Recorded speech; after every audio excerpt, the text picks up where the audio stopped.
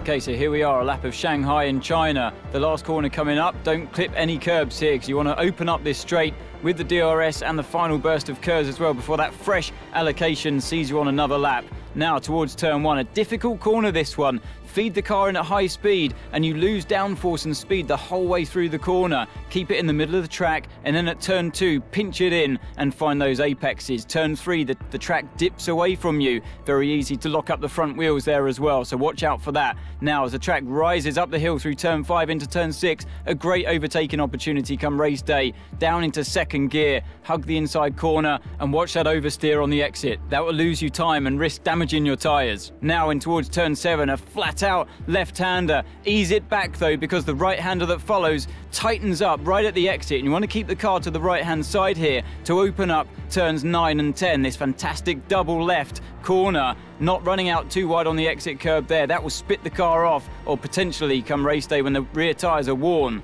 Now, towards the tight left-hander of turn 11 and 12. This right corner is very tricky to feed the power on. It's the opposite of turn one, where you're building up the speed through the corner and you get that luxury, the downforce build up as you exit.